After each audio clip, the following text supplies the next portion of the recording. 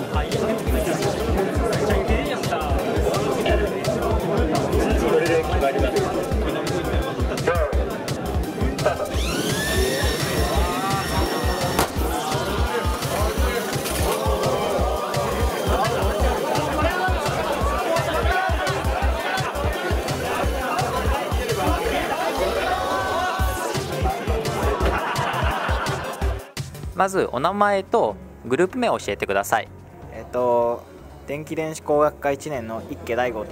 言います。えっと今日の、えっと、試合までにいろんな準備を重ねてきたと思うんですけれども一番苦労した点などあれば教えてください。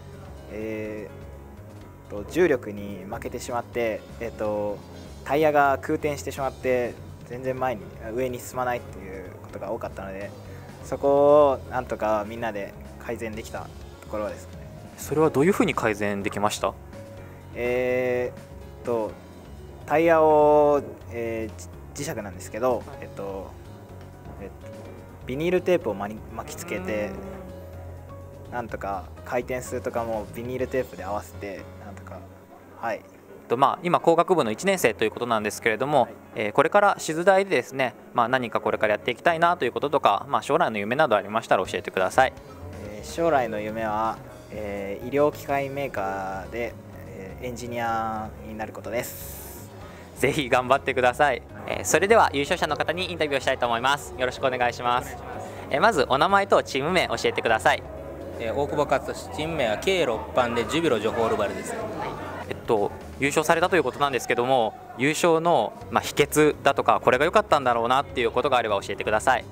えー、ルールをきちんと理解してそれで、えー、機体のコンセプトを明確にしてそれに性能を尖らせたことです。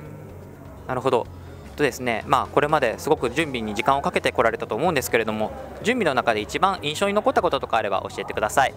1回ですね用意したギアボックスがですねスピードハイスピードギアボックスを使ったんですがそれがちょっとどうにもトルクが足らなくて登らなかったんですね。それで新しいハイパワーギアボックスに変えたせいで予算の5分の1がついと消えたことですね。最後にはなりますけれどもご自身の将来の夢とかあれば教えてください。将来の夢はやっぱり技術者としてものづくりの現場に携わることです。将来の夢に向けてぜひ頑張ってください。インタビューありがとうございました。ありがとうございました